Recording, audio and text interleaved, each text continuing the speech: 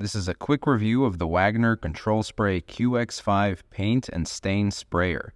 I'll be sharing my experience with this tool that I initially purchased to speed up the staining process for my front and rear deck railings, which had taken me ages in the past. Let's start with the design.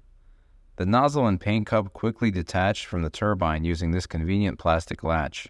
The air cap adjustment ring allows you to easily change the spray pattern from horizontal to vertical and vice versa. On the top of the unit, you'll find the spray width lever. This lever determines the width of the spray pattern, and I found it particularly handy when staining my deck railing balusters. The 12-step material flow control knob gives you precise control over the amount of material being sprayed out of the nozzle. The knob has a graduated shape, preventing the trigger from being pulled more or less depending on the setting. With a generous 1.5 quart material container, constant refills are minimized, allowing for more uninterrupted work. However, it's worth noting that filling it to capacity can add weight to the sprayer.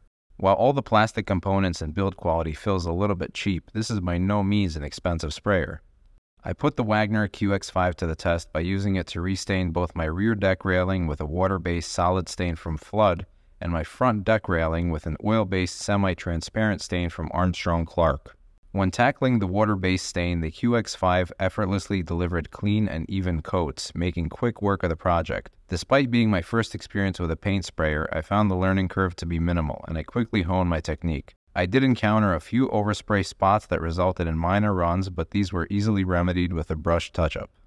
The oil-based stain presented a slight challenge, primarily due to the new pressure-treated wood that hadn't completely dried. This led to a few runs, however, the seasoned wood absorbed the stain flawlessly. The sprayer excelled at coating all surfaces with stain, requiring only minimal backbrushing to achieve a uniform coat. The nozzle assembly comes apart completely for easy cleaning, ensuring the sprayer stays in optimal condition.